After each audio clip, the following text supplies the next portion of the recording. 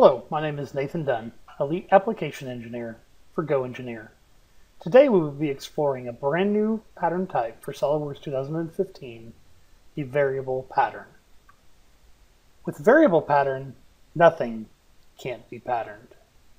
In this case, we're going to create this colander with a couple of very simplistic features and then the use of the variable pattern.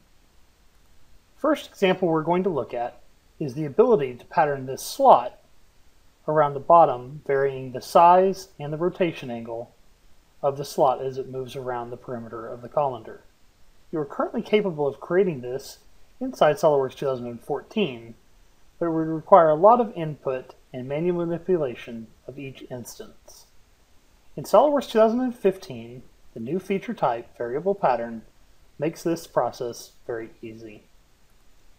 We're simply going to create an instance and then we'll choose the types of, or the dimensions or features that we want to control as part of this process. Make some modifications. In this case, we want to have 18 degree rotations. We're going to offset the slot by an additional 15 millimeters and reduce the length of the slot by 15 millimeters. A nice preview will allow us to see what these modifications will look like in a finished design. That looks great. Let's add a few more to finish this part out. 18 new instances, and utilizing Excel-like behavior, we can simply copy to the end of our tree. We can utilize copy and paste in order to make these modifications.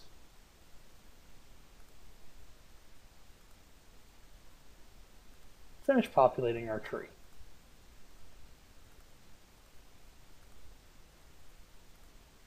Again, with the use of the preview, we'll be able to get a quick understanding of what this is going to do to our end features before we actually accept the command. That looks like exactly what I'm looking for. Simply accept this feature and see how the geometry looks. Not only is this feature extremely easy to create, but the modification tools are just as simplistic. If we select the inside of a slot, you'll see that we have familiar Instant 3D handles for each one of the instances. If I make a modification to this, we'll see that it will update only that instance.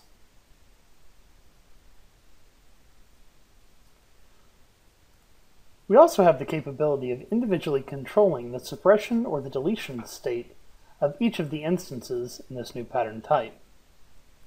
If I select this instance, instance 1, I can suppress it,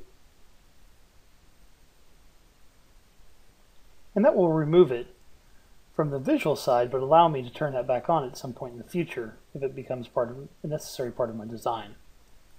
I can also actually just delete an instance. Deleting an instance will remove it from the instance count and maintain the integrity of the rest of my pattern. So there's one example. We can also utilize it to create these holes by just modifying the existing feature. You can see that there was an existing hole pattern that was created using a sketch-driven pattern. And then we have just created an additional modification that changes the size of the pitch circle, the number of instances, and the rotation angle in order to complete our design.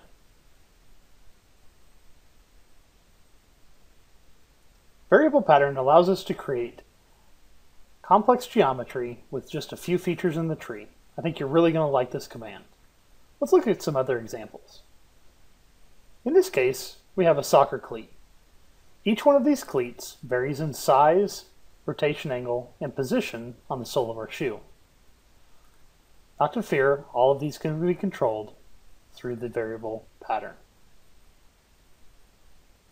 You can see that in this case we are also utilizing a position point on a 3D sketch and a plane normal to a curved surface to generate this geometry. This allows us a lot of flexibility in the control of where each one of the cleats ends up. But we can also individually select any one of these and make a modification, getting an instant update of how that's going to affect our design with lots of flexibility. One more example of variable pattern. The sole of this shoe was created with variable pattern changing the size, shape, and depth of cut of a spline going along our, shoe sole. As you can see, variable pattern is an extremely powerful tool that's certainly going to enhance complex part modeling. Thank you for watching this video on SOLIDWORKS 2015's new feature type, variable pattern.